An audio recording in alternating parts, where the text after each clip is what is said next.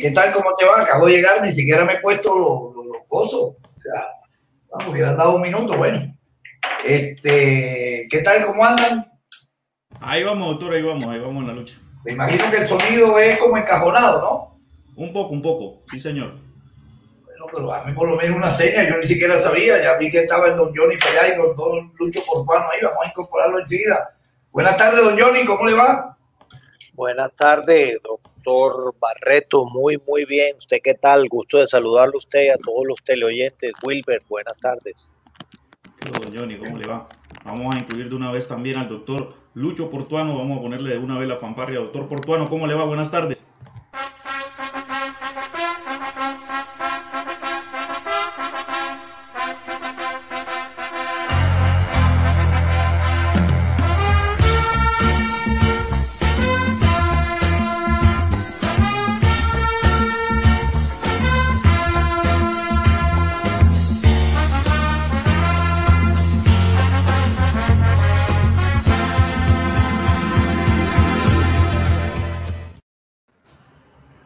Buenas tardes, un saludo a todos los compañeros del, panel y a nuestros escucha, doctor Barreto. Quiero que sepa que nunca lo había escuchado tan diáfano, en un sonido perfectamente ecualizado. Yo le recomendaría, de hecho, que no usara más los audífonos. Se escucha muy bien con el sonido directo del computador. Eh, le sugiero yo de manera respetuosa.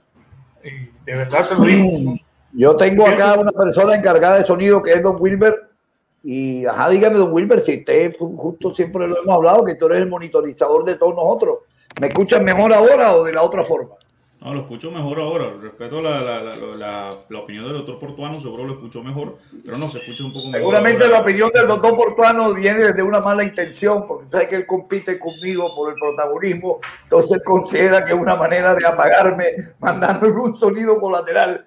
Así que trataré de, doctor Portuano, gracias por el consejo eh, dejé a don Johnny Fallat ahí en, la, en, el, turno al bate. Vamos a incorporar al profesor Castel, ya que tenemos un invitado, eh, porque estamos en la nota de basquetbol. Hubo algo importante ayer. Disculpa, Wilmer, no alcancé a escuchar tu. ¿Qué tal, profesor Castel? ¿Cómo le va? Hola, Ricardo. Ahí tratando de acomodar para que no... Acerque el audífono, profe. Sí, sí, estaba, estoy tratando de acomodarme bien para que la, la luz no haga sombra, pero ahí creo que estoy mejor, ¿no? Me parece. Ahí se ve, por lo menos lo vemos. Pregúntale, pregúntale a dos portuanos, dígale, ¿cómo lo veo, dos portuanos? Ahora se congeló portuano, ¿qué pasó? Se congeló, le jugó la mala pasada la señal de internet. Hoy, hoy, modifiqué un poquito el escenario allá, para, pero tenía la esperanza de que se viera algo de la ciudad, pero no, no, alcanzo a, ubicarme, no me, no me da la... Deje de, de, de, de, estar queriendo hacerse el, el cómic de, de Acá lo más importante es el sonido y su imagen es buena. Ya veo que está viendo mucho, mucho Fox, que los manes salen en una piscina en último piso. No, pero se, se ve bien así, ¿ah? Se ve bien así, profesor Castel, porque está permitiendo que la luz de Dios entre. No cualquier luz artificial, sino en la luz de Dios, igual el Señor falla.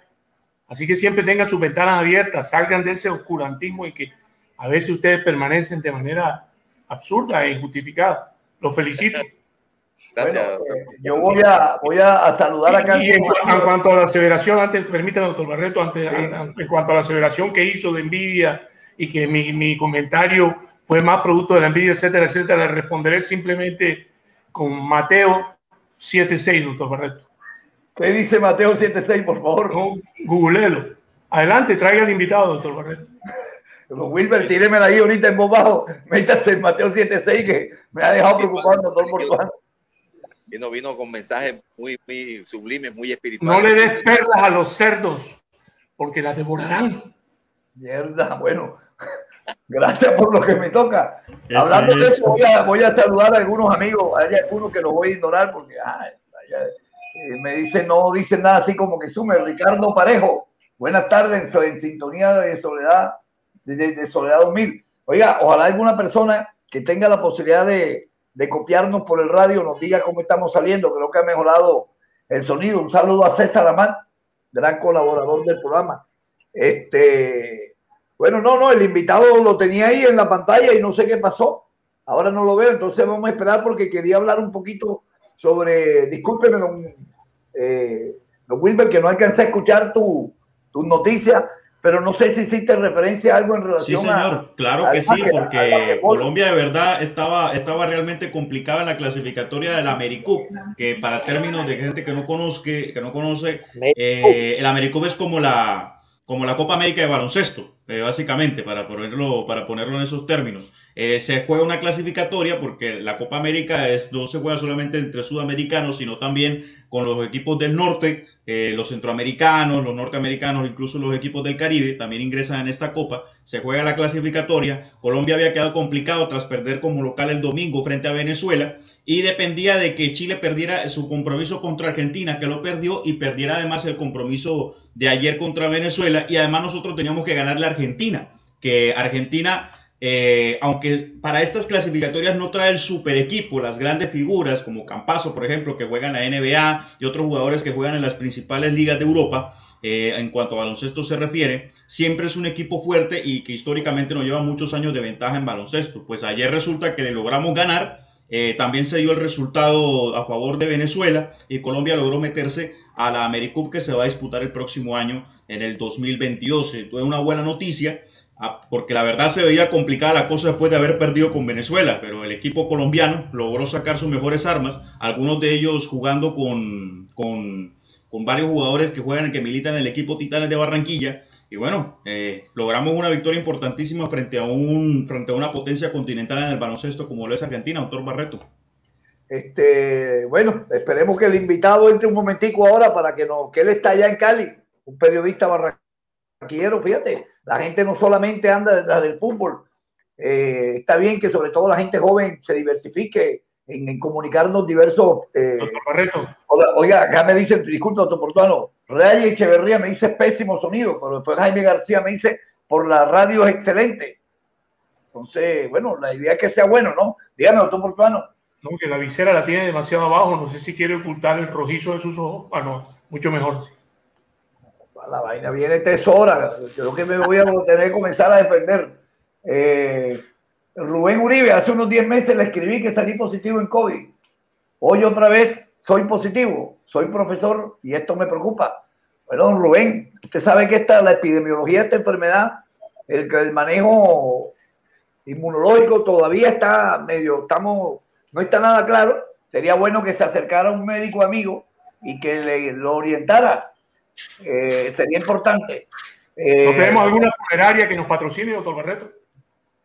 Joda, funeraria por ahora ya, por ahora no, es más, de, como dijo el profesor Castel ayer cuando le pregunté que si él estaba en capacidad de dirigir al Junior, él dijo que, que no dirigía ni todo juega. Entonces, joda. De despectivo ese comentario, no sé. Eh, yo lo tomé como venía la vaina, un tipo del nivel de él, ya bajar a todo juegan es como complicado. Yo me, imagino que se refería al equipo de todo juega. Eh, se refería a lo complejo del manejo de este personal. ¿Verdad, profesor Catel? ¿Verdad, desgraciado? El técnico actual es el doctor Portuano, pero se ha ausentado y que porque le tiene miedo al COVID. ¿Qué tal? Ah, ¿Usted, qué opina de ese entrenador, don Johnny?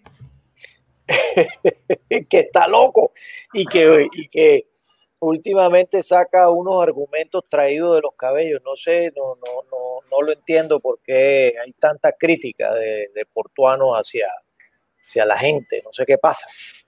Oiga, no sé si ustedes se acuerdan, ahí Eulinio Ginás, conmigo estudió Eulinio Ginás. No sé si será él o el hijo, porque sería muy, muy, muy, muy, que dos Ginás y con el mismo nombre tienen que ser familia. Bueno, gracias por estar en sintonía. Oiga, doctor Portuano. que está con la esposa de perfil, ¿ah? seres sometidos totalmente. Un saludo y un abrazo solidario, Eulinio. Yo generalmente, bueno, en estos momentos mi perfil está Dios, pero generalmente mi perfil... Alineados, seres alineados totalmente. alineados no, alienados. Alienados, disculpa, gracias. Gracias, Yo lo iba, ya yo iba, pero, pero dije, de pronto me responde mal hoy. Así que me... Eh, desde ya muy, desde en el sur profundo, eh, me dice, está Ricardo. Ah, primo de Fulleda. Joda, fíjate, aquí estamos. Esto es lo chévere de este programa. Yo me siento que estoy con un grupo de amigos. Claro, vivía en la 93. ¿Ah? Los Fulleda del Bifi. Los Fulleda del Bifi, claro. Ricardo Franco, no tuve la posibilidad de verlo en Bogotá. Volveré pronto a una gira radial, ya que tenemos muchos seguidores en Bogotá y, y, es chévere encontrarse con la gente. Por eso, ayer le comentaba a doctor Portano, es más, las preguntas que más me hacen es sobre usted, eh, sobre su alimentación. No sé por qué me preguntaban que usted qué comía o qué desayunaba. ¿Usted ve alguna cosa rara en esa pregunta, profesor Castel? No, no, no, simplemente que todos saben que el doctor Portuano es un hombre trasplantado y entonces necesitan saber que, cómo, cómo sostiene, cómo lleva esta condición a través de la nutrición. Me imagino que será una nutrición muy balanceada, muy, muy dirigida. Oye, ayer me metí con el equipo de Checazo y me está escribiendo Marzárate ya tenemos a nuestro invitado de Cali, vamos a esperar que se, ¿cómo se dice? Cuando que se, condicione. Que se condicione, Y cuando ya lo tengamos, que creo que ya está condicionado, no sé, listo, ya me hace la señal. Sigifredo Franco, buenas tardes, Sigifredo. Hola, buenas tardes, estaba amarrándome los cordones. bueno, vamos a poner, vamos a activar la rotación. Eh, para todos ustedes, el panel de Todos Juegan, y para ti, Ricardo, la verdad, muchísimas gracias por darle la oportunidad de conocer y bueno, estamos aquí todavía desde la ciudad de Cali, desde el 11 de agosto estuvimos.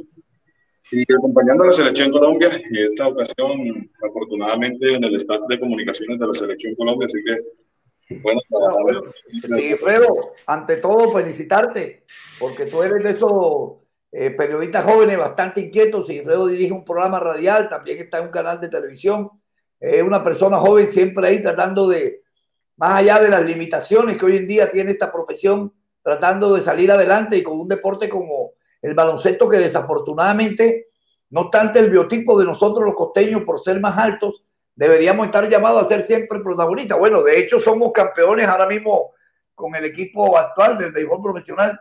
Sí, sí.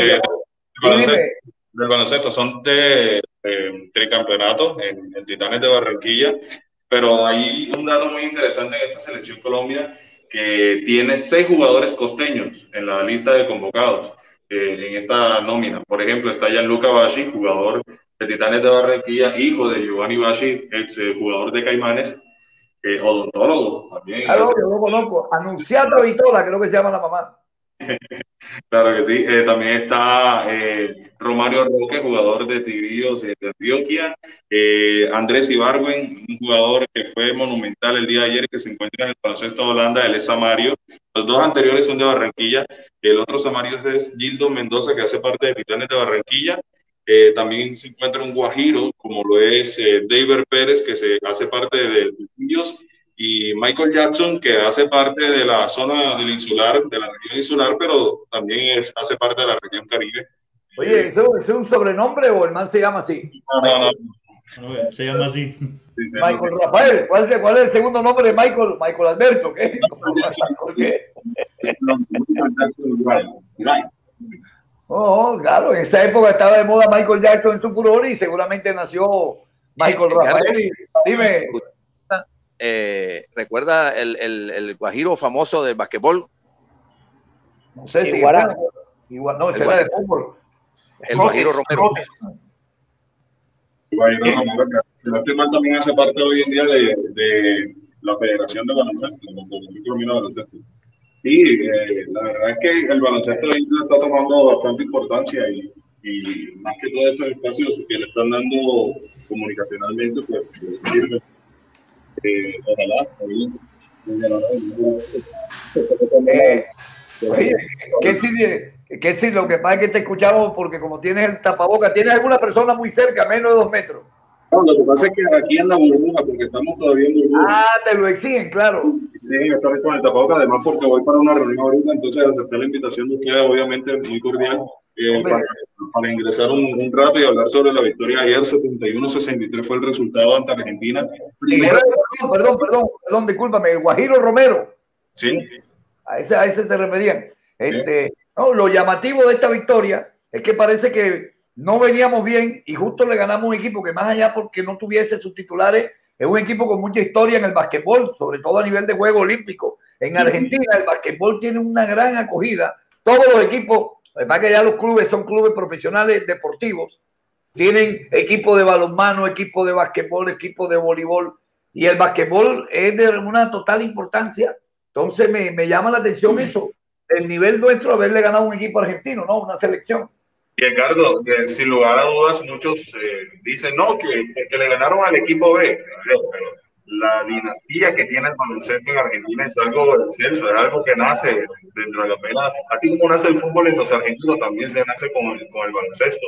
Y, y, hoy en día la selección de Argentina eh, prácticamente tiene un promedio de edad de 24 años, muchos jugadores jóvenes. Y muchos de esos jugadores jóvenes a futuro van a estar en el baloncesto europeo, porque no en la NBA? Así que yo creo que no hay que quitarle méritos, así como hay algunos deportistas y ex basquetbolistas que le quitan mérito a esta selección porque le ganaron una selección de Argentina, sí.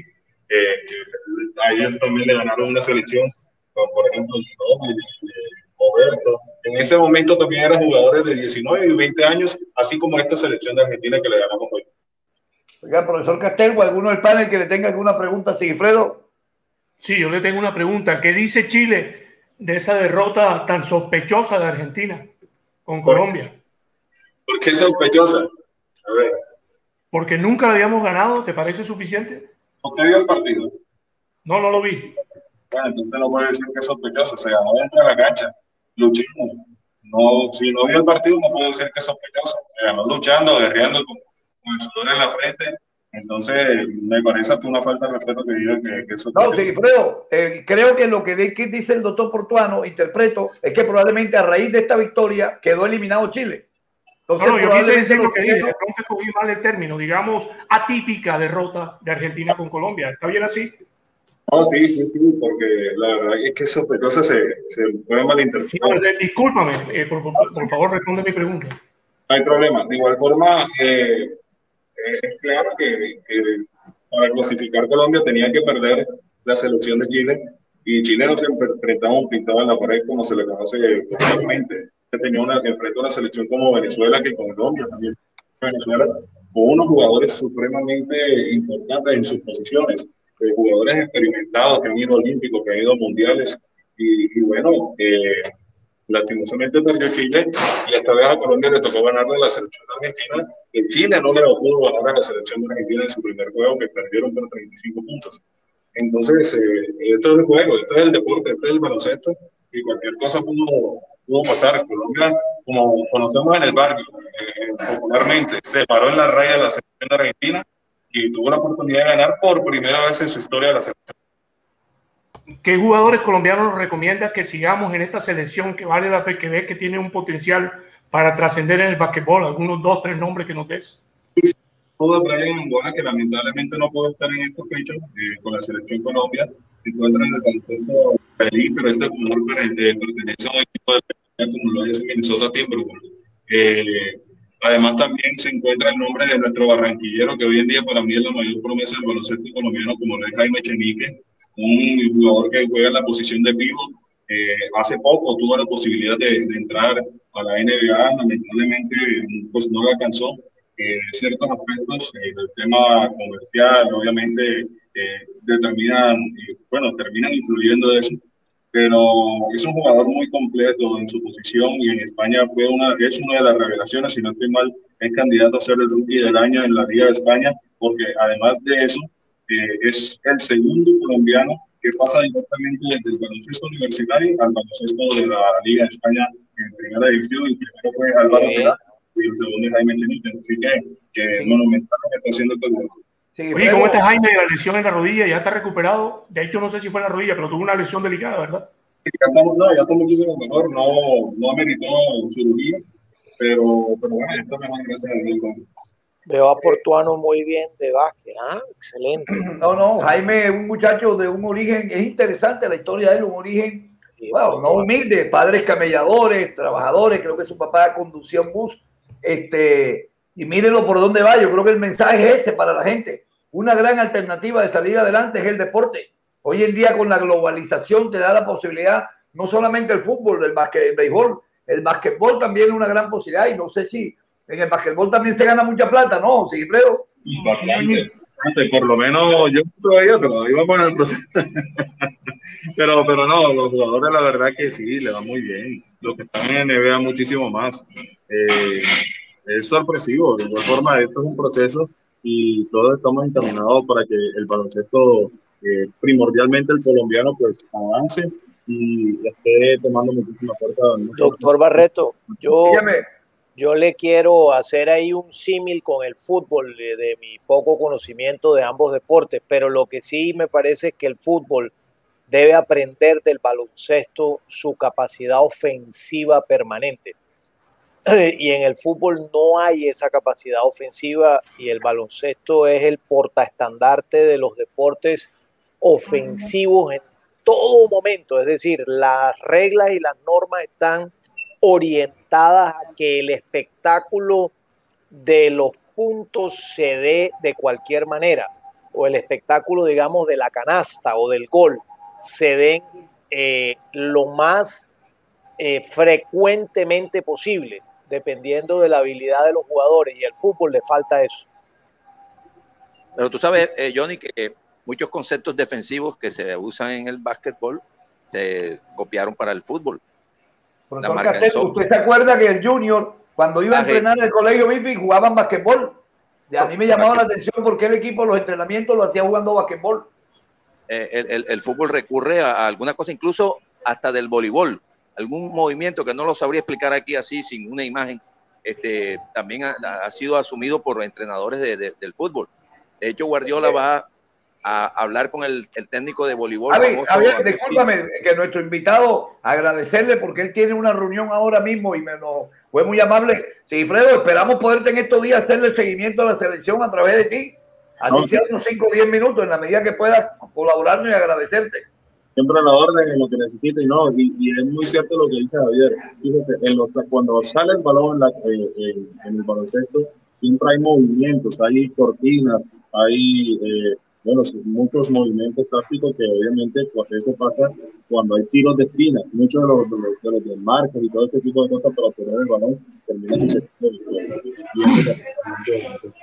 Muchísimas gracias a todos, a Javier, a Windows. Eh, un placer nuevamente a todos, a Lucho y, a ti, Eduardo, por la oportunidad.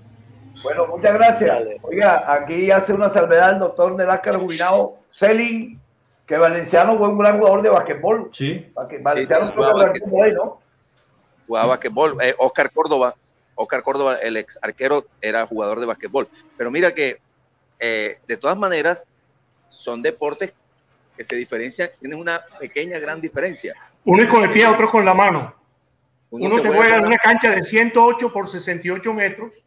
Y el otro. Digo, ¿cuánto mide una cancha de basquetbol? Por favor, señor Fayán. Eh, tú, sabes que, tú sabes que ese número de, de, aciertos que se ven en un partido de basquetbol, 100 a 90 y pico, 100 y pico a 80 y pico, esa emoción que produce permanentemente estar anotando, eh, cuentan que es lo que le gusta a los gringos a los gringos por eso todavía no les ha terminado de convencer, de, meterse en, su, en sus genes el fútbol, porque consideran que el fútbol, estadística, el fútbol soccer, estadísticamente es muy pobre, porque a veces incluso el partido queda 0 a 0. Y hay empate. a, ellos, claro, a ellos no les gusta el empate, que, que un partido, que un deporte haya empate y que no haya 10 goles, 20 goles, eh, eh, bueno, pero son naturalezas distintas. Pero, le, explico algo a don Johnny, le explico algo a don Johnny. Eh, quizás él habla del baloncesto show, pero es que ese baloncesto show, y, curiosamente, solo se ve por las reglas de la NBA. Porque lamentablemente en el baloncesto existen dos reglamentos. El reglamento de la NBA, que es completamente distinto al reglamento que hay en el resto de, países, que es el reglamento FIBA, que es la organización que en un símil es igual a la FIFA, pero en el baloncesto. Pero eh, la NBA, precisamente por esa cuestión de, espectáculo, de show, cambió algunas cosas en el baloncesto. Hay faltas que se pitan en el resto del mundo que no se pitan en la NBA para precisamente privilegiar ese, ese juego ofensivo. Eh, el conteo de faltas se expulsa con un jugador en el baloncesto normalmente con cinco faltas. En la NBA se expulsa con seis. Eh, y notas ese cambio cuando, cuando vas a los campeonatos del mundo a los Juegos Olímpicos que se juegan con regla FIFA, con regla FIBA, perdón, y, y ve a, a, veces a los gringos eh, un poco confundidos porque a veces ellos cogen una falta que, que, realmente la NBA no se la pitan, pero esto sí se la pitan porque es un reglamento diferente. Y entonces hay ciertos cambios y ciertos contextos dentro del propio baloncesto que lo, que lo diferencian. Eso lo, entiendo muy bien porque conozco ambas, ambos, ambos, digamos, tipos de juego lo que sí te digo es que desde mi punto de vista ustedes tienen su concepto distinto. Eh, el fútbol es un deporte de, de, pocos tantos y, de una ofensividad media en la mayoría de los partidos que tú ves, eh, mientras que los otros, muchos de los otros deportes, por ejemplo, no se permite el empate, en el fútbol se permite el empate, en otros deportes hay una ofensividad mucho mayor y el fútbol no la tiene. Por ejemplo, eh, deberíamos aprender del baloncesto que de la mitad del campo hacia adelante tú no puedes echar la bola para atrás. Eso, por ejemplo, a mí me parece genial. En el fútbol echas la bola para atrás. ¿De acuerdo? Ahí pierdes ofensividad en la mayoría de los casos. Por citar solo un ejemplo nada más y no seguir en la discusión, pero desde mi punto de vista y el tema de ofensividad. No, es correcto, ahí, ahí vuelve incluso el tema de los tamaños de los campos y todo, y los recorridos que hacen los jugadores, etcétera. No es lo mismo de volverse eh, en, una cancha, exactamente, también. Influye en otra cosa, es válido el punto. Tú sabes que para, para eh, desde el punto de vista del entrenamiento, eh, muchas veces se hace eso. En el entrenamiento se pone la regla de que cuando el balón ya pasó al campo del rival, queda prohibido devolverla. Para darle cierto hábito al equipo de jugar ya cuando estás en el campo del rival, jugar, buscarla, pues, que no quiere decir jugar mejor, ¿ah? porque jugar mejor no es ir hacia adelante o hacia atrás, no tiene nada que ver con eso. Jugar mejor es acertar en la elección de la mejor jugada cuando que, la situación del partido plantea. O sea, no, no, hay, no, hay, no hay que, es mejor el equipo que juega para adelante y es peor el equipo que juega para atrás. No, eso no es verdad. Dependiendo, a veces el mejor pase es el que tú das para atrás. Ahora desde ahí hacer un cambio de frente y, generar una jugada por el otro lado. Pero bueno, eso, pero en el entrenamiento, cuando tú quieres como, como crearle cierto hábito a tus jugadores, de, que, bueno, llegado el momento, vamos a ensayar, ir hacia adelante, a ver, a ver cómo nos va. Queda prohibido devolver el balón. Si lo devuelves, eh, te pitan falta y entonces se le da el balón al... Pero el reglamento del fútbol... Pero, eh, profesor Castel, desde el punto de vista médico, físico, atlético, creo que es mejor el ejercicio del basquetbol que el fútbol. El, el, el, fútbol es, es eh, una actividad anaeróbica, ¿no? Es decir, con deuda de oxígeno. Eh, porque es, es esfuerzos permanentes en corto tiempo. Más, más seguido, más, dinámica permanente. No te puedes aislar del partido, que me escondo como hacen en el fútbol. No, el fútbol tú puedes a veces hasta caminar, a veces hasta quedarte quieto. oiga, oiga, antes de meter a, César, le quiero mandar un saludo. Eulinio Ginazzi fue mi compañero, y a Benjamín Chima, Benjamín Chima, equipo que también es jugador de Sucre, me dicen que luego de lo que nosotros dijimos acá en el programa ayer en el equipo de Checazo, parece que ha habido un gran conflicto y algunos jugadores fueron a buscar en la noche aflacado a su domicilio. El técnico que lo tuvo en la banca y el muy cobarde no salió. ¿Usted qué opina, profesor Castelo? Usted nunca lo fue a buscar jugadores por no haberlo metido. El día viernes haré una investigación más, más cercana. El viernes me, me tropiezo con ellos ahí en el parque. Ellos van a hacer un poquito de fútbol, yo a caminar Oiga, me dijeron que para qué hacen fútbol, si allá lo sientan, no juegan, entonces para qué van, eso me dijo el Macha, digo, ya, por Barreto, dígale que, que, tanto entrenan, si allá lo van a poner a sentar, entonces ellos lo hacen por salud, digamos, así que no corran mucho, por favor. vamos a dejar quieto ese lío porque vamos a terminar comprando una culebra que no es nuestra. Este, adelante, don Wilber, con mi invitado, mi invitado, con don César. Todos juegan se mantiene en las redes sociales, Facebook Live y YouTube. Y ahora vuelve al registro sonoro de la radio. Escúchanos a través de la frecuencia 1430 AM de Radio Ya. Todos juegan llega a todos. Lunes a viernes, 12 y 30 a 2 de la tarde.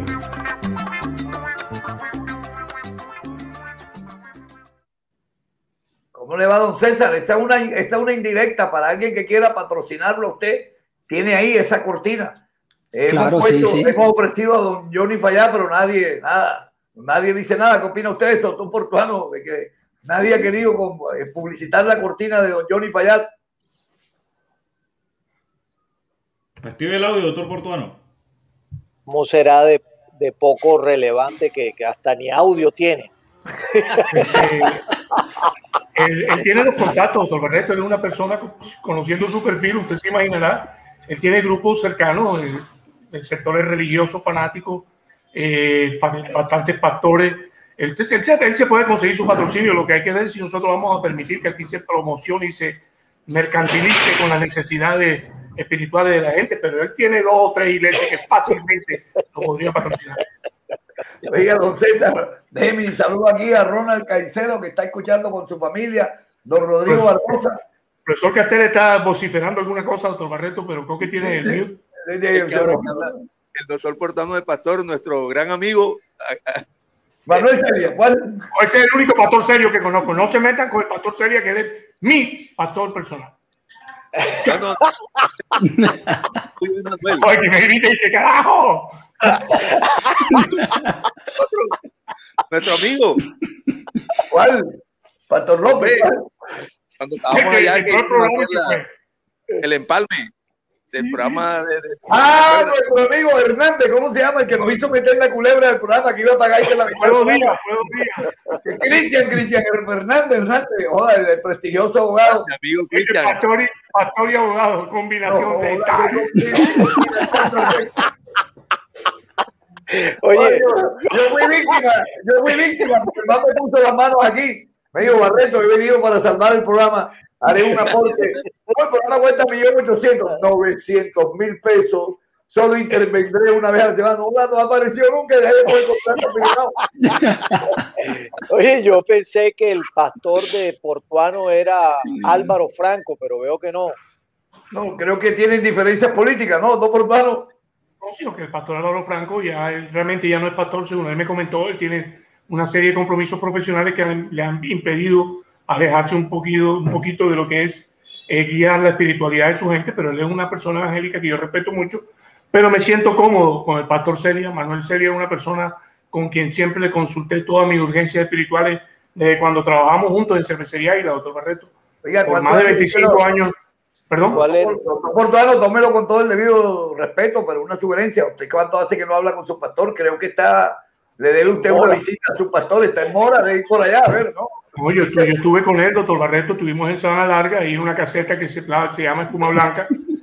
Estuvimos tratando de, meter en los caminos a un grupo de muchachas, pero preferirían hablar de eso ya que su esposa aún está contaminada por los, compromisos sociales, las imágenes, la apariencia, cuando en realidad estaba él estaba dando la palabra del Señor y la palabra mía. Y él estaba un poco enmaicenado. Él estaba un poco enmaicenado, ¿qué? Sí, porque él deja que lo absorba el ambiente, porque él me explica que él así se comunica mejor con las almas perdidas.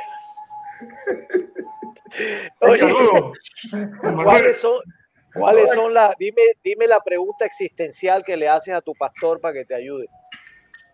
La pregunta más brava que yo le tiré un día fue, si Dios fue el creador de todas las cosas, ¿quién creó a Dios? Y él me dijo, Dios no tiene creador. Y yo le dije, eche, entonces Dios es ateo. Él sencillamente me sirvió un trago largo de ron caña. Estábamos tomando, pero suave, y nos lo seguimos tomando y escuchamos algo de música terapia y nos olvidamos del tema. Las grandes preguntas esas, doctor. Yo creo que, Dios, creo que, Dios, nace en el momento que cada uno de nosotros toma conciencia de la vida. El man es ateo, hombre. No, pero no, yo creo que Dios nace. No, porque me, me hice la pregunta enseguida yo. No tiene Dios, no tiene creador. Dios nace en mí en el momento que yo tengo conciencia de uso de razón. Ahí está estoy hablando de usted, estoy hablando de Dios, doctor. No, no, me estoy respondiendo yo. Ah. ¿En qué momento y de dónde nace Dios? Dios es mi propia creación y a su vez yo soy creación de Él. Yo pienso que Dios es una creación de la urgencia de endorfinas que tenemos los seres humanos en nuestro cuerpo. Es posible, porque Dios es una esperanza en todo ser humano. Por eso yo, las personas que dicen ser ateas o no creer en Dios, de pronto se están refiriendo a un término semántico y no a una necesidad del ser humano.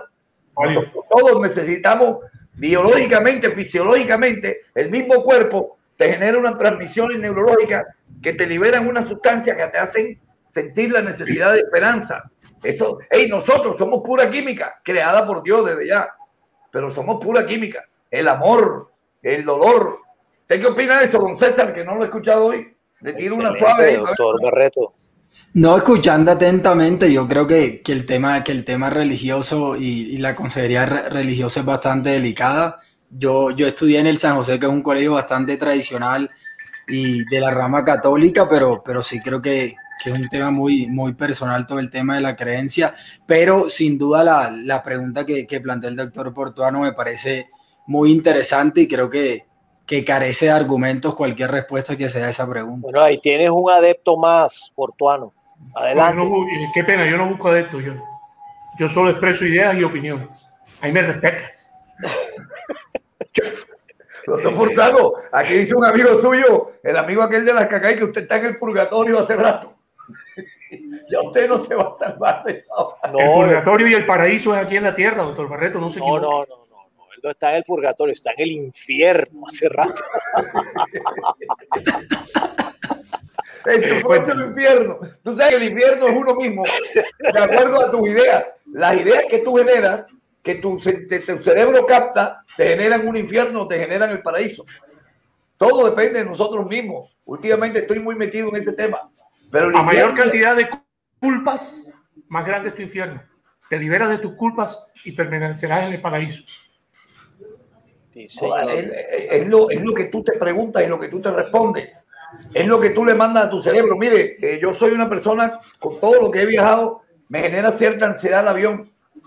Y comencé a racionalizar al miedo al avión. Hey, estoy aquí sentado. Yo no me voy a tirar. Yo no me voy a salir o sea, comencé a hacerme que eso en, psicología se llama los diálogos, diálogos socráticos. Y, finalmente comienzas a hacer tu comportamiento, todo lo que tú le mandas a tu cerebro. Por eso tú tienes que, por ejemplo, interpretar.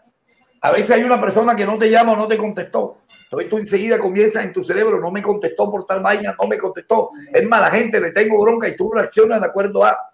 Pero si en tu cerebro tú comienzas a maquinar el man estuvo, está ocupado, tiene muchas ganas de hablar conmigo y no ha podido.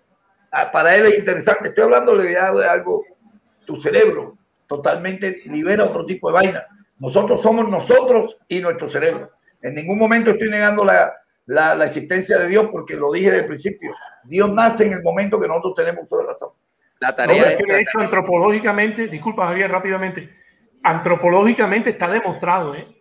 la antropología se ha aburrido de demostrar que desde el comienzo de la existencia del, ser humano, desde que salimos del agua como pececillos y nos transformamos hasta lo que somos hoy o intentamos ser, siempre ha existido una búsqueda del, hombre con una espiritualidad superior. Siempre, ¿ah? desde los más remotos años de la existencia humana. Así que no crean que esto es de fácil digestión y fácil procesar. Que luego aparece la religión y cuadricula las urgencias espirituales de cada ser humano es distinto. Pero espiritualmente, por naturaleza, somos seres espirituales. Claro, sí, son las cuatro dimensiones, mente, cuerpo, corazón, espíritu. Así es, y no como la gente cree que es tiempo, espacio y... ¿Cuál es la otra? Las tres dimensiones. No, las tres dimensiones. El tiempo, el espacio, el alto, la libertad. Oye, tenemos Oiga, por cierto, un saludo a la señora Adela de Barreto, que ayer estuvimos acordando de una palabra cuando uno pone el, celular a que se escuche en altavoz. Oiga, me acordé a la una de la mañana, usted puede creer esa vaina.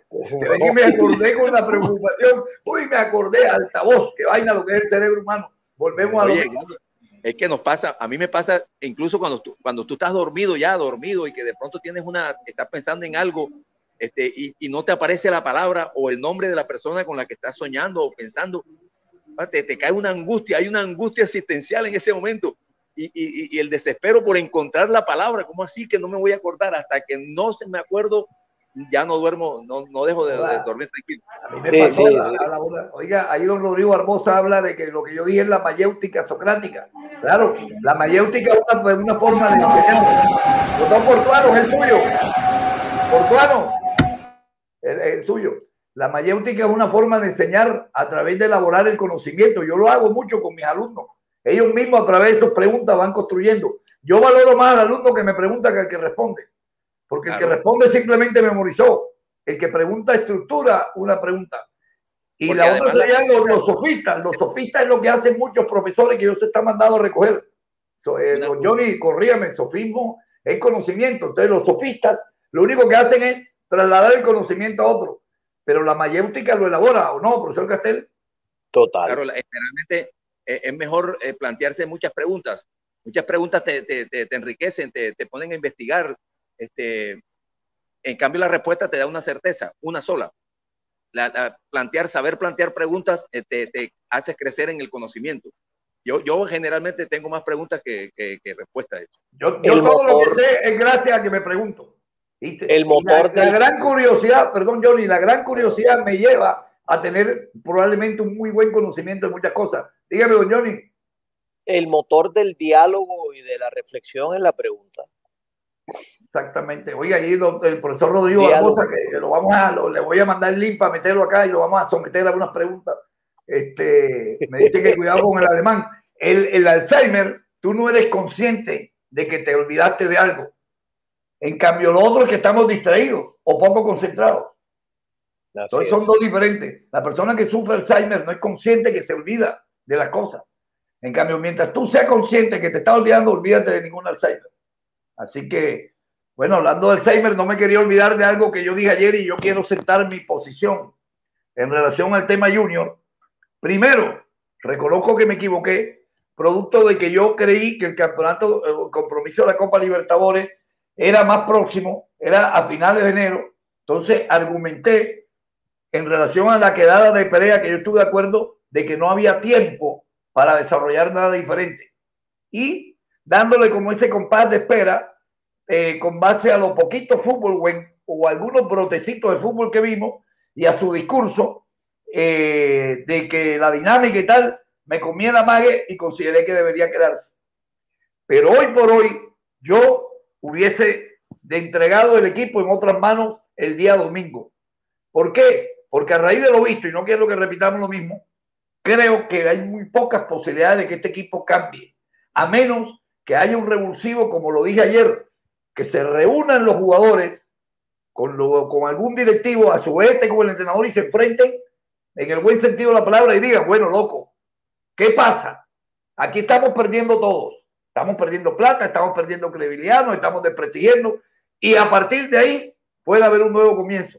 Pero insisto, por cierto, sigo esperando la llamada de, del jefe de prensa del equipo junior para que nos confirme la, la entrevista, porque considero que lo único que le puede llevar a, lo, a veces a lo, al aficionado, a todos nosotros, un poquito de tranquilidad, es saber lo que está pasando en el grupo o en el equipo. ¿Entiende? Que, por ejemplo, si hoy un periodista hubiera ido al entrenamiento o se entrevista con Perea, hombre, nos reunimos o estamos haciendo, pero aquí nadie sabe nada.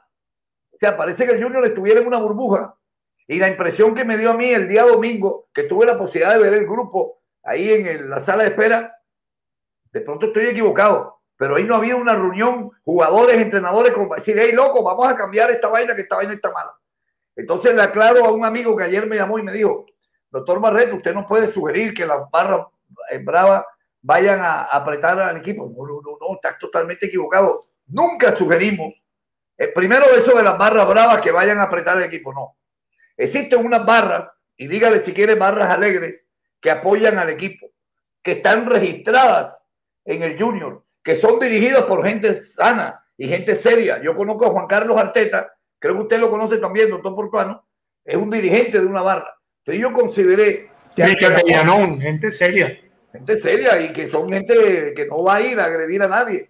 Pero probablemente ya que hay una comunicación tan poca entre el cuerpo técnico y el equipo junior con los periodistas, con los, con los periodistas, con los aficionados, como hacerles saber, oiga, joder, estamos preocupados, eh, ¿qué va a pasar? Pero a usted no le da la impresión que el junior está en una burbuja, que nadie sabe nada. Pero la pregunta es, ¿por qué permitimos que permanezca así?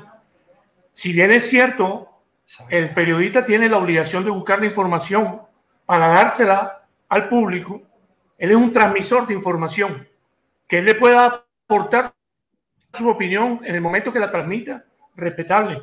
Pero quien debe persistir y buscar la información son nuestros periodistas. La pregunta es, y sobra hacerla, ¿cuál es el precio que un periodista en Barranquilla un periodista deportivo le toca pagar por insistir en obtener la información de la fuente idónea.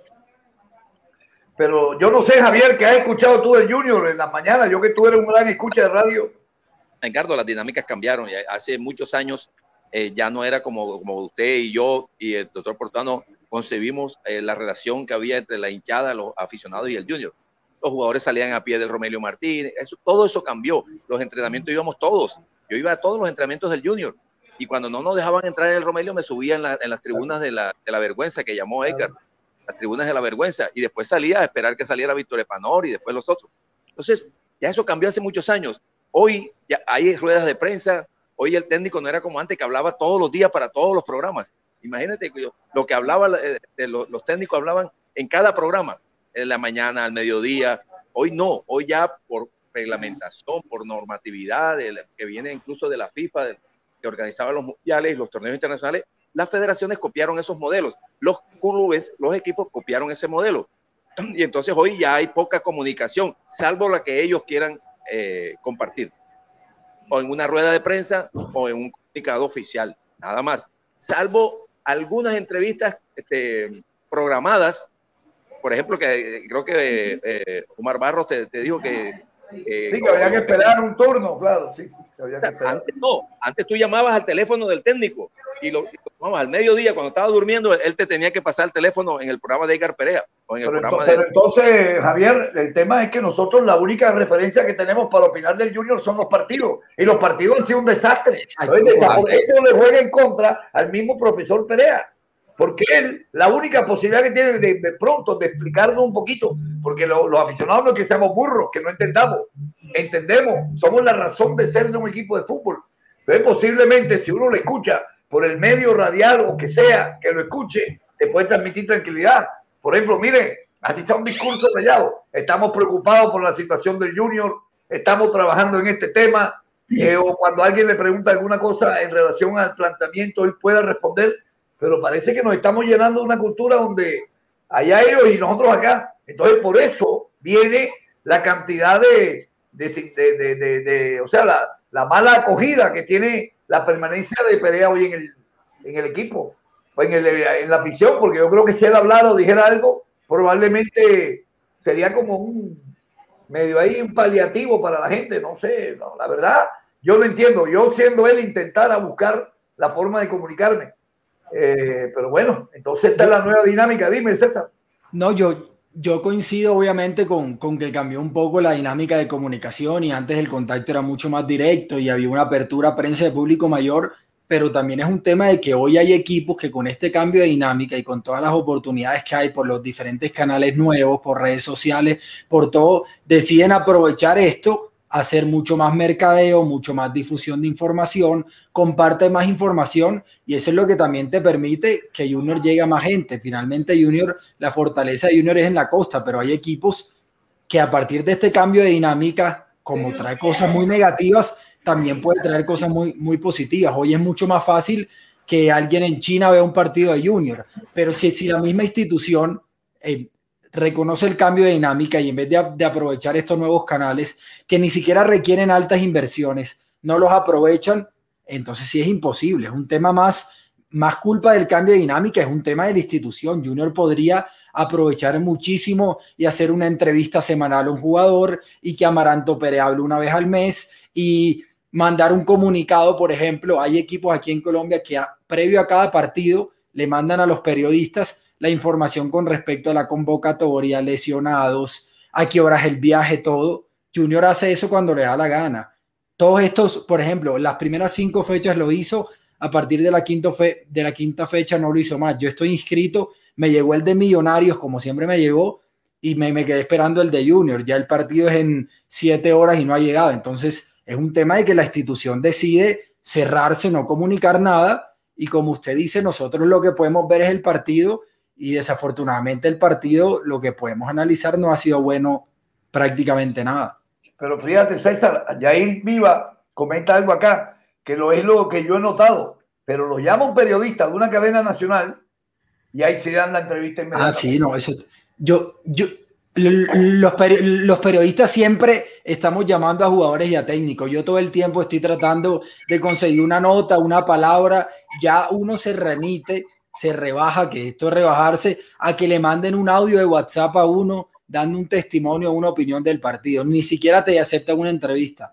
Pero también hay, un, hay una directriz del equipo ante los jugadores que no hablen con periodistas o no hablen con periodistas de X medio, por poner un ejemplo ahora puntual. Entonces el jugador que está en un club que finalmente es el que le paga y es a quien le trabaja, hace caso, entonces uno llama a X jugador y te dice, no, no, no, puedo hablar con la prensa, no, no te puedo responder dos preguntas, que son preguntas sin mala intención y sin nada.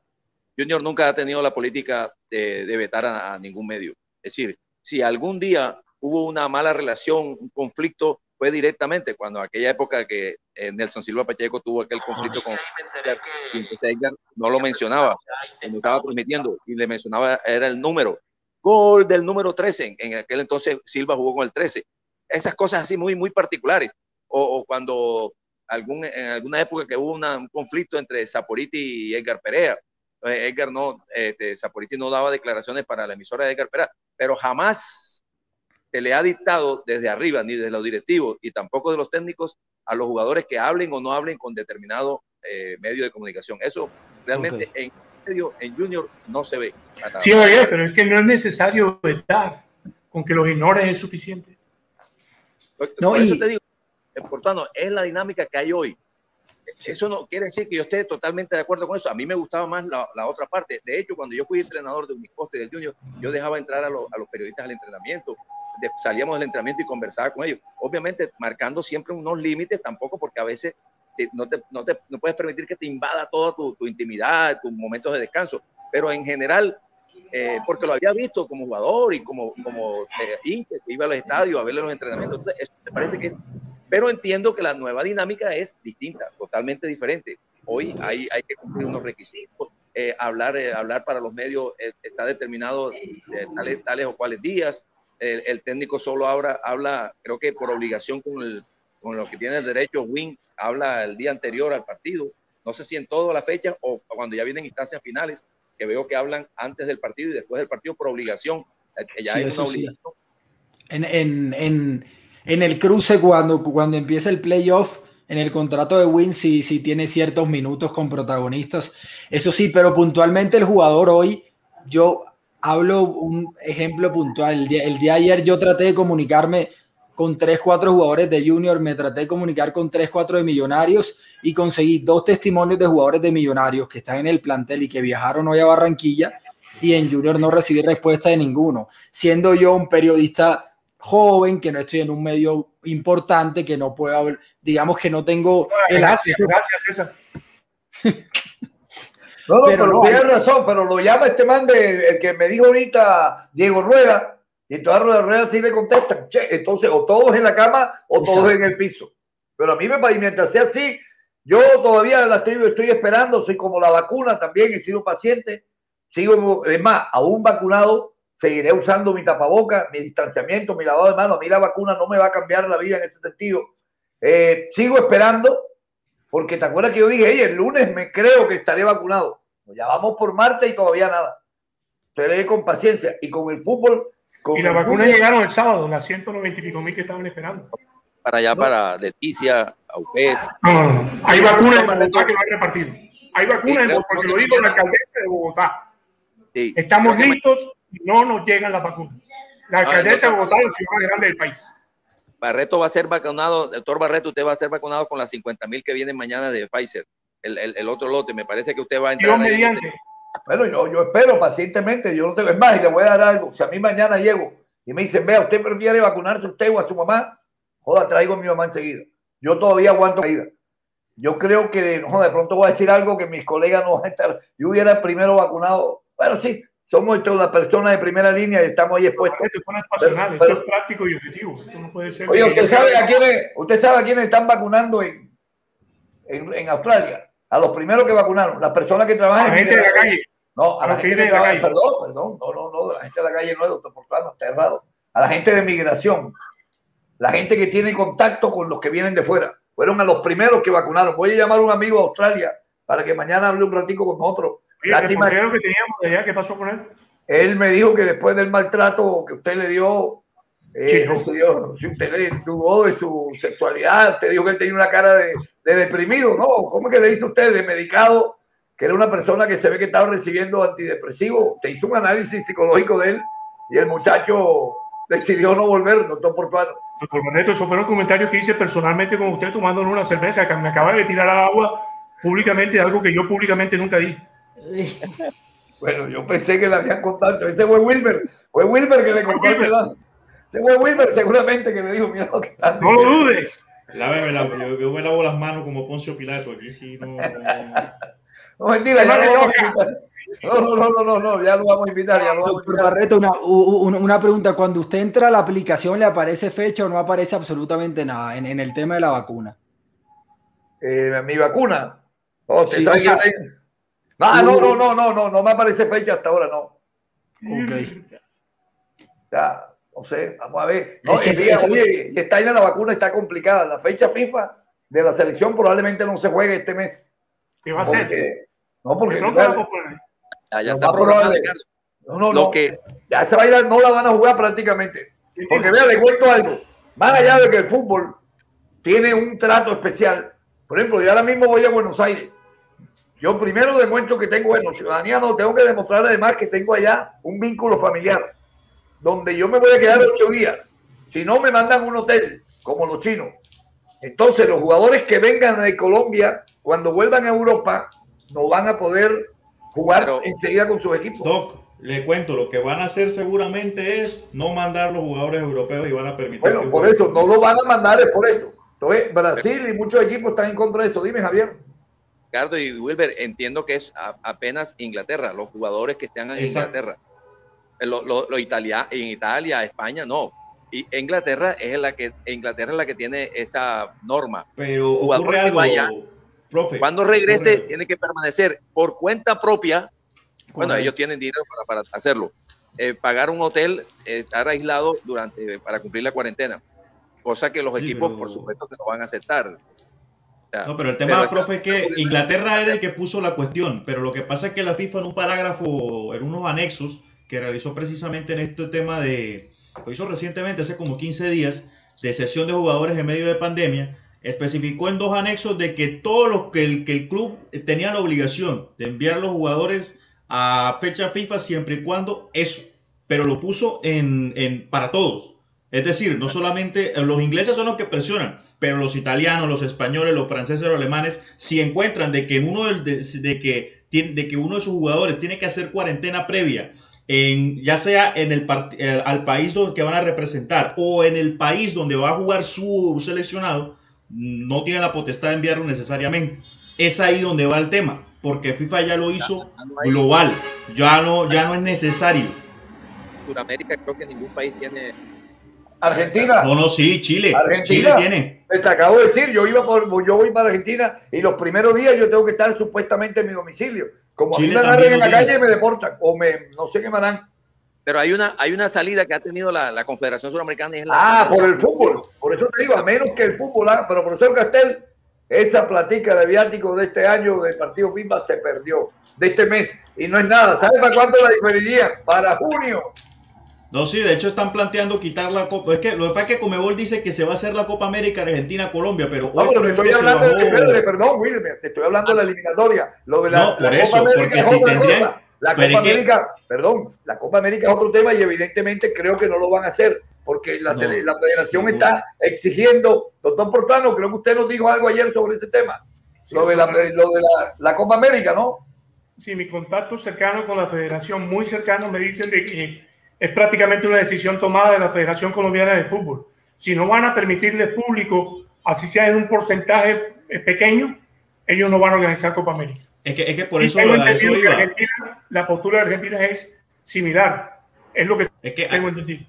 Es que eso iba. Comebol está, está insistiendo en que se haga la Copa América con 30% de aforo en los, eh, en los estadios. Hoy se bajaron los dos equipos invitados, Australia y Qatar, porque la fecha FIFA, allá por la misma razón, movieron la fecha FIFA de marzo para junio, disputarla todos en una burbuja en un país X que todavía no han confirmado. Se habla del propio Qatar y de los Emiratos Árabes. Como movieron los partidos de las eliminatorias para junio, pues ni Australia ni Qatar pueden viajar. Entonces, y como es burbuja, menos pueden salir. Entonces se bajaron del torneo. Pero la Comebol está mirando, está mirando insistentemente de que se haga con el aforo. Pero así como van las cosas, está difícil el tema. Incluso está difícil en Europa, que ya lo estamos viendo en los partidos de clubes a nivel internacional, que varios partidos de la, de la Champions League y de la Europa League se han tenido que disputar en, sede neutra, debido a que equipos ingleses, equipos también de otros países que de pronto no son ligas top, pero que tienen medidas anti-COVID fuertes, no les permiten jugar en sus partidos como, lo, su,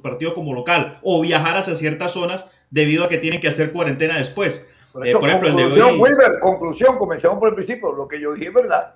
No va a haber fecha en marzo y lo más probable es que se juegue en junio y la Copa América tampoco la va a haber. No, estoy, diciendo claro, pero la fecha FIFA de marzo todavía no han dicho nada y lo más probable es que la puedan jugar, pero con jugadores normales. Con jugadores normales no, jugadores de aquí. Yo no voy a esperar que la noticia salga en el periódico El Tiempo para dársela, discúlpeme. Mis informantes, que están a la par de los informantes de los dos portuanos, que no crean que el doctor Portano es el único que tiene ascendencia en la grande. Yo también me estoy metiendo en ese mundo. Mi ida a Bogotá algo tuvo que ver con esto, que yo no me le voy a quedar atrás. También me tiran mis datos. Entonces, tenemos aquí una competencia informativa. ¿Qué opina usted de eso, doctor, profesor Castel? no, pero eh, eh, déjeme decirle, doctor Barreto, que ha dado muestras fehacientes de eficiencia, efectividad, las, las, eh, noticias del doctor Portano usted a mí todavía me tienen entredicho. Usted a Portano es como la vacuna. 95 Acerque el micrófono, profe. Portano es como la vacuna Pfizer. Doctor Barreto, pero para, en su defensa quiero agregar algo importante y estoy sobre el profesor Castel que ha estado en este medio mucho tiempo. Lo que usted nos contó de lo difícil que es acceder a los jugadores cuando tuvo oportunidad de hacerlo en el aeropuerto es ya conocido. Los jugadores de fútbol cuando están en los aeropuertos son así. La cabeza enterrada en un celular no miran, no escuchan, no entienden. Así que lo que, usted, lo que a usted le pasó ya es conocido. Los jugadores de fútbol son los primeros que se aíslan, pero en su ignorancia, en su ignorancia, porque ellos no pueden saber, porque son ignorantes y qué pena. Ellos no saben que el periodista es quien los pone, es quien se encarga de empujarlos y colocarlos en las luces de neón para que brille. Lo que ellos no saben es que cuando ignoran al periodista, están ignorando una fuente de ingresos y de papa. Pero no, ellos se dejan tramar por el discurso del dueño del equipo o el dueño de su pase y lo pone a que entierren la cabeza en el celular y ni en el aeropuerto ni en el avión mucho menos le puedes hablar. Corrígame si estoy equivocado. Usted que lo vivió hace dos días. No, pero quiero aclarar algo. Yo entiendo que no es un avión ni un aeropuerto un lugar para dar una entrevista. Yo me estoy refiriendo al proceso en el cual yo estoy viviendo, de que estoy solicitando una entrevista a través de la, de la de la, rueda del, jefe de prensa y que no nos las da. A eso me estoy refiriendo. Ya la otra cosa que usted habla, esa situación ya me parece que es más personal de los jugadores, cada quien decide su comportamiento como ser humano ante una persona. Hay tipos que si se le acerca un fanático y le pide una foto la sacan, hay otros que no. Ya a eso sí no me estoy refiriendo, porque ahí sí ya pasa por cada uno de ellos. Hay gente más accesible que otro. Y lo que usted dice, sí, es posible el celular es más, cuando los jugadores de fútbol van a salir de los camerinos hacia afuera, eh, van con, con el celular y esas cosas. Pero yo ahí sí no, discúlpeme, no me quiero referir. Oiga, quiero aprovechar esta aclaración que usted hace, que ayer dejé poco clara una posición en relación al tema, ah, por donde comencé. Yo le hubiese entregado al equipo hoy, y por más que no estén de acuerdo conmigo, al profesor Grau al profesor Pasos y a los que están ahí en el Junior. Y subiría a este muchacho que, por cierto, bastante mal le está yendo por el Barranquilla, pero me parece que él es un buen entrenador. Este muchacho Peñalosa. Esa sería mi postura, porque yo sí creo en el producto nuestro. Yo no creo que Junior en este momento, para enfrentar la Copa Libertadores, que está 10 días, o no sé a cuánto, 10 o 15 días, ya creo que mañana, pasado mañana, se conoce el rival, no haya en Barranquilla gente idónea como lo es el profesor Grau y como lo es los muchachos que están acá. Yo le daría al equipo, esa sería mi actitud. Si la gente lo comparte o no, problema de cada quien. Yo soy un tipo pragmático. Yo no creo que así traigan al mejor entrenador del mundo en 10 días, va a poner al Junior de un nivel competitivo en la Copa Libertadores. Ya, si el proyecto es para más largo, bienvenido Pusinelli, bienvenido Osorio. ¿Quién más está? César eh, sonando por ahí. Yo ayer hablé, hablé con, un, con un colega argentino y me dijo que Pedro Troglio, ex entrenador de gimnasia que actualmente está en Centroamérica, eh, que hubo un contacto con Junior, no oferta oficial, pero que hubo cierto contacto. Eso de Troglio ayer trascendió, es cierto lo que dice eh, César, un tipo que Troglio es de, de Estudiante de La Plata, no, del otro equipo de La Plata. Gimnasia de La Plata, donde estuvo Maradona, exactamente. Del Lobo, del Lobo. Y, y es un tipo que parece que, que, que, mostró un buen fútbol, su equipo los trabaja bien, pero yo te digo, por esto vuelvo a la palabra pragmatismo, ya traer un técnico que no esté en Colombia y que no conoce el fútbol colombiano, estamos hablando proyecto no tan mediático. O sea, chao Copa Libertadores. ¿Entiendes? Porque nadie va a agarrar un equipo y a comprometerse. Oiga, el profesor Castel vio que nuestro amigo, le, aclaro a alguna persona acá que me pregunta por Chiquillo, desafortunadamente Chiquillo, en el momento que estuvo vigente no se le dio más oportunidad. El patón Bausa parece que está en medio enfermito, entonces ya no, no creo que esté para el fútbol. Eh, porque es que esa es la otra vaina. Siempre nombramos a no sé quién, porque no buscamos gente nueva, gente con conocimiento, gente que se está preparando. Acá en Barranquilla hay muchos muchachos, bueno, desafortunadamente no han hecho los, entrenando, los cursos de, sino virtuales, pero creo que eso también tiene validez, ¿no, profesor Castel? Claro que sí, por supuesto. Y yo creo que si en caso de que se tomara la medida de la decisión de, sustituir a Perea, yo coincido contigo, Edgardo, en este momento lo, lo más eh, sensato, lo más inteligente sería dejar el, el grupo de, entrenadores que están, que es Lucho, en cabeza de Lucho. De Lucho. Yo no veo otra posible solución realmente práctica, con alternativa de ponerle a corto plazo un buen funcionamiento. No, sé qué opinan ustedes, doctor Portuano, no lo veo muy convencido. Te habla de soluciones, yo no creo que el cambio de técnico es una solución para Junior. Yo estoy totalmente de acuerdo con Iván René Valenciano y no solamente hay que votar Perea. Ahí hay tres, tres o cuatro jugadores sin vergüenza que hay que votar también. Seamos claros, con esta nómina que tiene Junior, que la gente sigue creyendo que es la mejor nómina del país, no lo es. Es la mejor paga, que es distinto, ya lo hablamos aquí, pero no es la mejor nómina del país. No tenemos el cipote equipo y puedes traerte a Pepe Guardiola mañana o a Klopp, que el, resultado sigue siendo un enigma. ¿Qué va a pasar con este equipo? Así que no crean ustedes que, doctor Barreto, porque traigan al técnico indicado, vas a triunfar en la Copa América. pero, pero hay, algo, hay algo discutible, doctor Portuano. No lo es por los resultados. Pero económicamente, y uno toma como referencia eso, si son los que mejores ganan porque son los mejores en su momento, que no hayan dado resultados, eh, ahí sí lo entiendo. A raíz de los resultados no es la mejor nómina. O sea, pero potencialmente, desde su valor, si es la nómina más cara de Colombia, ¿o no, César? Teóricamente, como viene el jugador, Sí, teóricamente sí, pero en la práctica, que es lo que finalmente importa y el juego, no han demostrado eso. Por eso, teóricamente, la práctica es producto de una mala dirección o de un poco de esfuerzo que han querido poner ellos. Pero, eso no significa que ellos no sean buenos o que no claro, pero, hace seis meses. Pero, pero, yo coincido que así venga Guardiola o cualquier Troglio que de, de, pronto es un ejemplo más real. Y si, si el delantero Junior no quiere correr, no quiere correr. O sea, no importa qué técnico venga. Si, Pajoy no corre, o Teo, o Borja, no importa quién no corre y no rinde. una pregunta, César. He escuchado últimamente, ahora acaba de nombrar el doctor portuano Iván René Valenciano. Yo escuché a Jorgito Bolaño, que es un referente nuestro. Eche, dicen lo mismo. Ahí se tienen que ir dos o tres. ¿Por qué no dicen quiénes son los dos o tres que se tienen que ir? Sí, de acuerdo con eso, que, que digan puntualmente. Ellos, claro, si yo señalo. En el rol que tienen, exacto, en el rol que tienen de periodista, están en un medio, tienen una audiencia, ellos mismos puntualmente que analicen el pobre nivel futbolístico de algunos jugadores y que digan, Wilber no está para Juan Junior y Barreto tampoco está para Juan Junior, pero hablan ampliamente, no dicen, no dicen nombres, pero eso es porque después les van a pedir una entrevista y no se las dan el periodista que dice que Barreto no está para Junior, después cuando le pide la entrevista a Barreto, Barreto no se la da. Entonces el periodista de este tipo de medios se cuida mucho de, hablar o de apuntar puntualmente jugadores y más en Junior que sabemos cómo se maneja la todo este atención de Iván René, porque Iván René es un tipo que se caracteriza por decir las vainas bastante puntuales, que eso le ha costado eh, mucho, es crítica y vaina, pero Iván generalmente un tipo que se la juega. Eh, ¿Usted cuándo lo escuchó, Tom Portuano, Iván? Eh, lo leí ayer lo que le había dicho. Pero usted está de acuerdo conmigo que deberían decir los nombres, ¿no? O de pronto son cuestiones de código. No, no, no, no. Eh, yo... estoy de acuerdo en que usted llame a Valenciano ahora mismo y, y, él al aire seguramente le responde. ¿Qué le parece? Creo que Iván en estos momentos está. Bueno, vamos a marcarle para ver si me contesta. Más que el nombre, es, es un análisis de cada jugador y después de ese análisis que uno se dio cuenta que no, dio, no tiene madera para Junior, pues se tiene que ir de Junior. Es un tema, tampoco es un tema de con un dedo no, es un tema con análisis y argumento.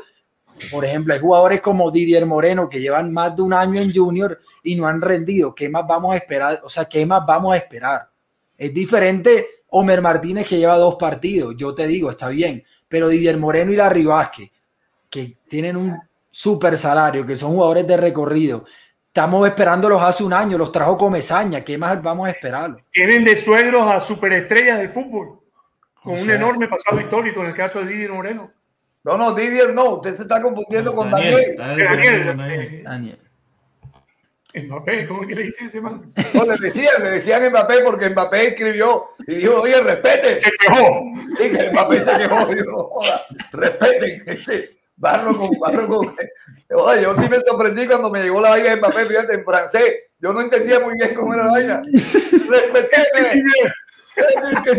yo dije, no, cálmate, papel, una mamadera de gallo. A mí me respeté. A mí.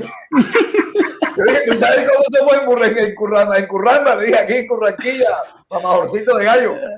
Oiga, ¿sabe a quién le eché la culpa? El trotamundo, a Johan Cassiani sabe que el periodista Johan, que... ¿Qué ha pasado con esto, don Barreto? No, también, no, también, tuvo, también se fue un poco resentido con usted, porque usted dice que usted que se refirió en malos términos a la manera como él comía el bocachico.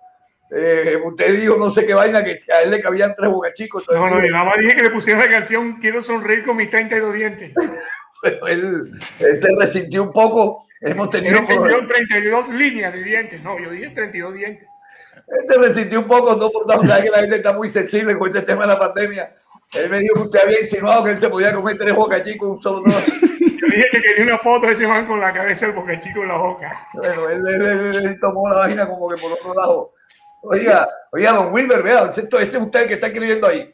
Ah, no, Wilber Villarreal, así que se escribe ese nombre, Wilber. Oye, no, se escribe, pero ese no soy yo. Oiga, puso Menajén. ¿Se acuerdan que el otro día estábamos hablando de los apostadores en el estadio? Gerardo Menajén o Jaime Menajén.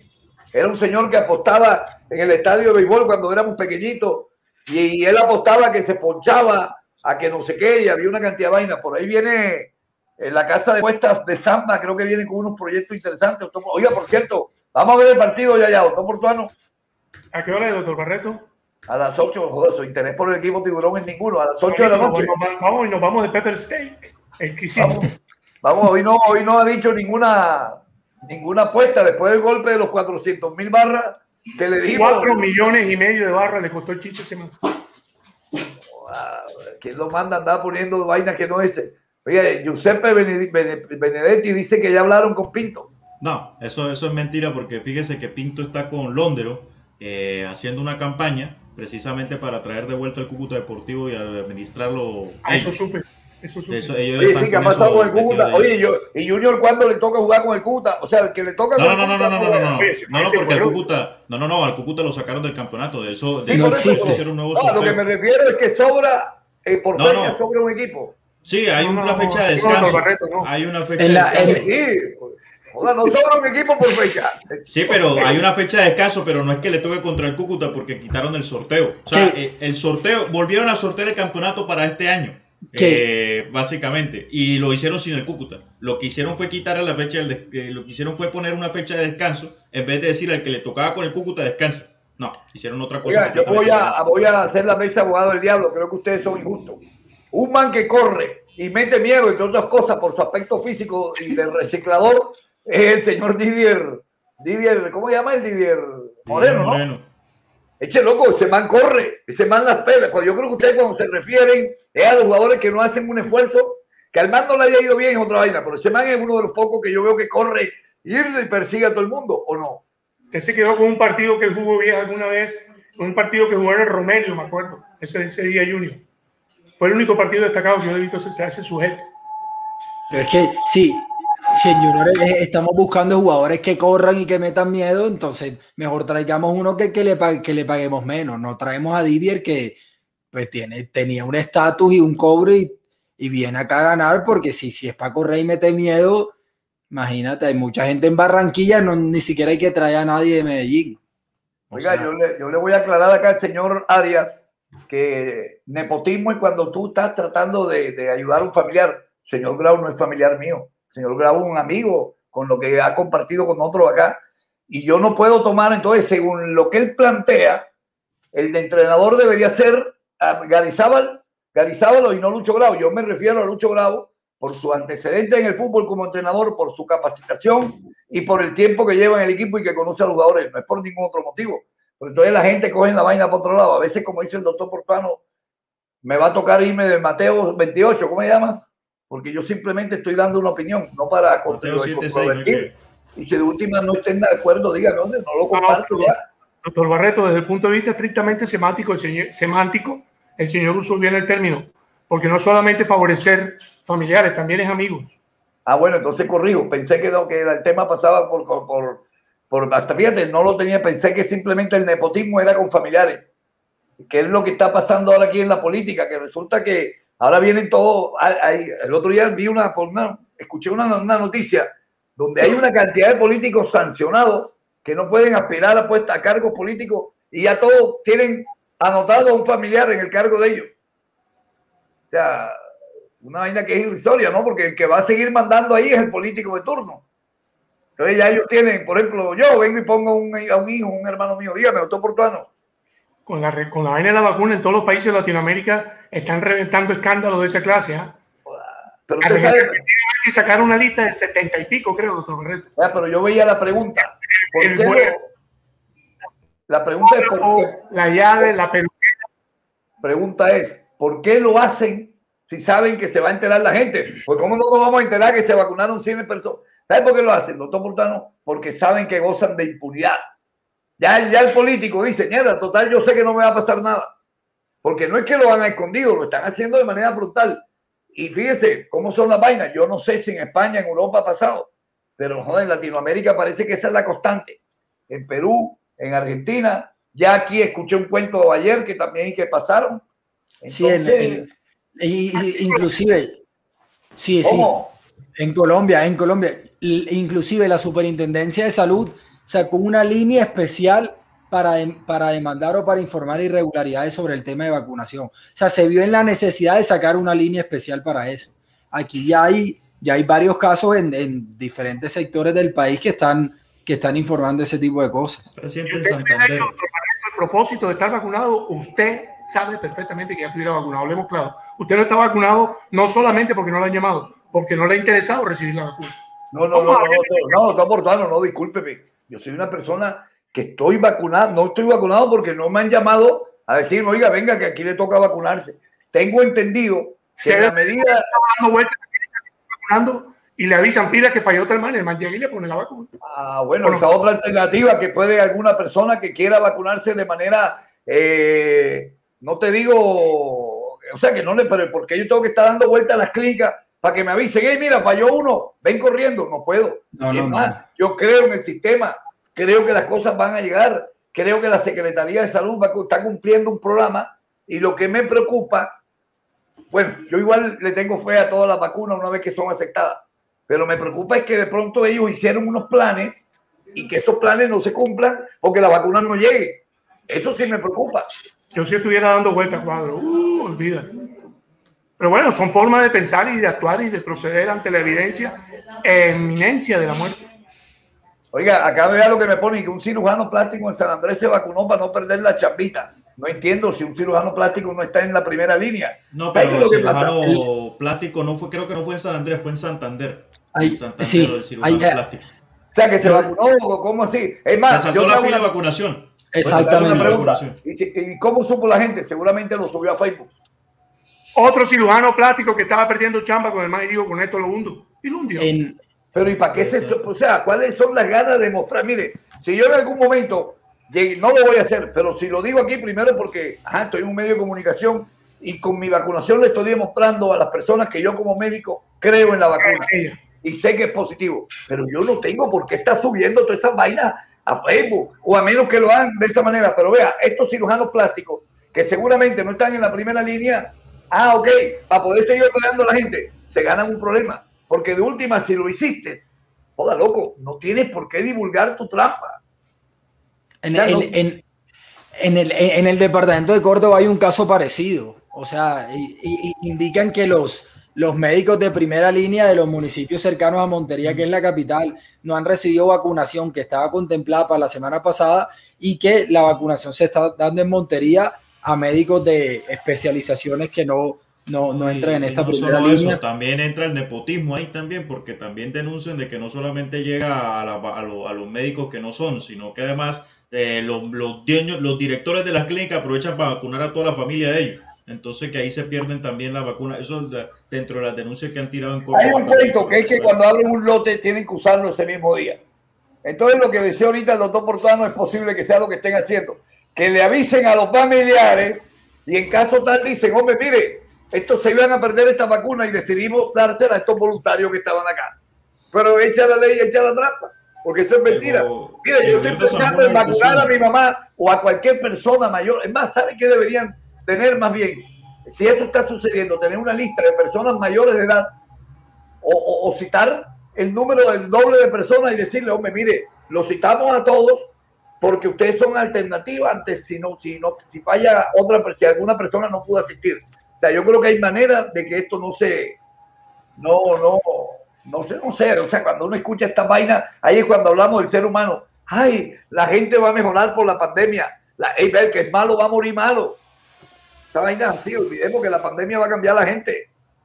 Ay, él va a cambiar por la pandemia. Él va a cambiar por. Hay gente. Eso es maldad ya. Eso es maldad. Vacunarme para que mis, mis, pacientes sepan que estoy vacunado y que no le voy a transmitir la enfermedad. Y les digo algo, y estoy hablando científicamente. Hasta ahora, y esto es positivo, comillas, la vacuna nos va a impedir que desarrollemos la reacción inflamatoria fuerte de la enfermedad que las posibilidades que, que terminemos en una UCI o hospitalizados disminuyan altamente, que ya eso es bastante. Pero la capacidad de contagio de este virus es alta. Por eso yo digo que no obstante me vacunen, yo voy a seguir con mi tapaboca y guardando las medidas, porque yo puedo ser, hasta donde he leído yo, hasta el domingo en la noche, contaminante, no obstante que tenga la vacuna. Pero si me llegan a contaminar, lo más probable es que yo no voy a hacer la reacción inflamatoria tan fuerte que nos lleva a una UCI y es la que nos mata. entonces, todo esto hay que, hay que, hay que tenerlo, tenerlo claro, no sé. Informarlo, hay, un deber informativo de informar que la vacuna no evita el contagio, sino que evita el, los el desarrollo de la enfermedad. agravantes, exactamente. Sí, no te, evita, no, te, no te evita la infección, te evita la enfermedad, que son dos cosas exactamente. diferentes. Escuchaba una entrevista ayer en la televisión americana a una directora de un hospital en Pensilvania. Y la señora seguía usando la mascarilla. Y ella ya lo vacunaron hace más de 10 días. Y ella estaba, le decían, ¿usted por qué sigue usando la mascarilla? Y decía, son varias las razones. Te doy la primera. Estamos vacunados contra las cepas que hasta ahora conocemos de este virus. Todavía no hemos terminado de conocer qué otras cepas pueden formarse. Primero. Segundo, el que yo esté vacunada no significa que yo no cargue el virus. Luego yo soy, si no uso la máscara, soy un potencial transmisor de la enfermedad caminando por las calles. No puedo darme ese lujo. Yo pienso que dos razones más que suficientes y claras para que la gente entienda que luego de vacunados no den papaya, sigan usando la protección. Yo creo que la vacuna lo que me da es la tranquilidad de que me alejo de la posibilidad de morir, pero no desaparece. No desaparece. Exactamente. Vea, y le cuento algo. Las personas que hasta ahora han vacunado en Colombia, que creo que con Pfizer, y Moderna, creo que es la otra, no me acuerdo, son dos dosis. Realmente tú comienzas a, desarrollar la inmunidad después de 10 o 15 días de la segunda dosis. O sea, tampoco es que, bueno, yo creo que hasta ahora las personas que le han puesto son gente de la salud y saben lo que yo estoy hablando. Pero el gobierno tiene que socializar un poquito más esto cuando ya llegue, cuando tengamos que, que vacunar a las personas que no conocen de la salud y desconocen lo que yo estoy diciendo. Tienen que hacerle buena socialización de estos temas e informarlo. Y ahí sí, ese programa de la serie de la tarde, meterle con todo para que la gente sepa y aclarar la cantidad de dudas que la gente tiene. Porque la gente tiene las dudas hasta que tú se lo aclares. Vea, yo no hay persona con lo que me haya encontrado antivacuna que después de media hora de conversación terminen entendiendo. Y dice, no joda, me voy a vacunar. Pero bueno. Doctor Barreto, pero usted sabe esta revista prestigiosa médica, Lancet, usted incluso habló de ese tema no hace mucho. Ellos publicaron y yo lo comenté en un, en un Twitter, ellos pues, publicaron un estudio que hizo un centro médico en Israel, Y ese centro médico, en pruebas que hicieron con 9 mil personas, 9 mil, eh, de acuerdo a ese estudio, indicó que la, la sola primera dosis alcanza una efectividad de hasta el 85%, doctor La sola primera dosis.